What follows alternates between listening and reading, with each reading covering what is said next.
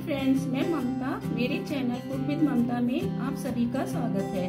Friends Holi नज़दीक है तो क्यों ना हम अपने मेहमानों का स्वागत इस रिफ्रेशिंग ड्रिंक से करें। जी हाँ हम बनाने जा रहे हैं पान शेक। दो ग्लास शेक बनाने के लिए हम लेंगे दो फ्रेश पान के पत्ते। ये देसी पान है और किसी भी पान की दुकान पर आपको इजीली मिल जाएँगे। और ये मैंने दो पत्ते लिए हैं क्योंकि ये बड़े साइज़ के हैं। अगर आप छोटे पत्ते लेते हैं तो चार पत्ते भी यूज़ कर सकते हैं। और ये चार टेबल स्पून शुगर है। और ये दो टेबल स्पून ग्लूकन है, ये भी मार्केट में इजीली अवेलेबल है। ये वन टेबल स्पून सौंफ है, ये मोटी सौंफ ली है मैंने। और इसको हमें बिल्कुल एकदम करारा कुरकुरा लेना है, ये सीली हुई ना हो, वरना पिसने में प्रॉब्लम होगी। और ये हाफ़ टी स्पून इलायची पाउडर है। और ये 500 हंड्रेड मिल्क ले लिया है हमने। हमने बिल्कुल चिल्ड लिया है, इसमें हमने आइस क्यूब का यूज़ नहीं किया है। और ये दो स्कूप वेनिला आइसक्रीम ले लेंगे बट ये आइसक्रीम बिल्कुल ऑप्शनल है। आप इस चाहिए तो इसको डालें, वरना ना डालें। इन पान के पत्तों की हम बारीक कटिंग कर लेंगे। इन पान के पत्तों की हमने कटिंग कर ली है। और अब एक ग्राइंडर जार में इन सब चीज़ों को हम डालेंगे। इसमें हमने पान के पत्ते डाल दिए हैं। ये गुलकंद भी इसमें डाल देंगे।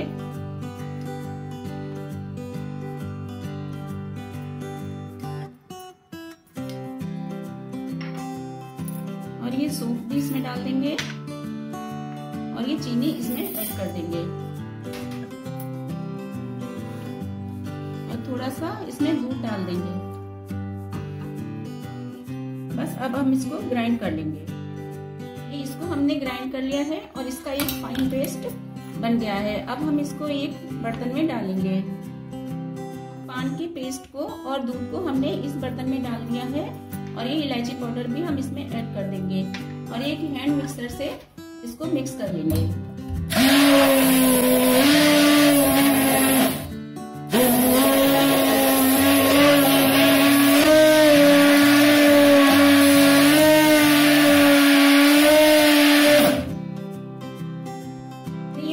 पेस्ट और दूध को शेक कर लिया है।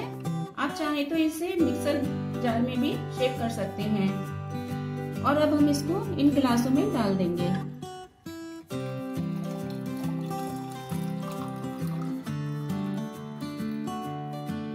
और ये वनीला आइसक्रीम एक स्कूप इसमें डाल देंगे। और एक स्कूप इसमें डाल देंगे।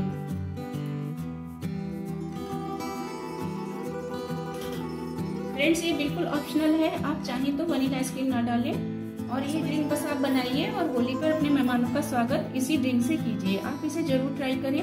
फ्रेंड्स यदि आपको पान शेक की ये रिफ्रेशिंग रेसिपी पसंद आई है तो देर किस बात की है? वीडियो को लाइक करें शेयर करें और चैनल कुक विद ममता को सब्सक्राइब ज़रूर करें। अपना फीडबैक शेयर करें। Thanks for watching my video मिलते हैं कुछ और नई रेसिपी के साथ। Bye bye